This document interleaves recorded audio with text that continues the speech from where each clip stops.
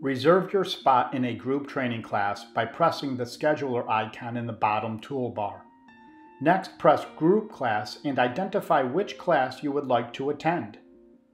That day's schedule will appear.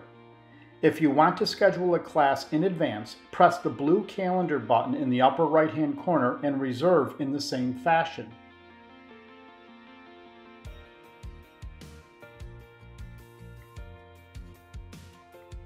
Reserving an automated kiosk or station is performed exactly in the same manner as you would reserve a spot in a group training class.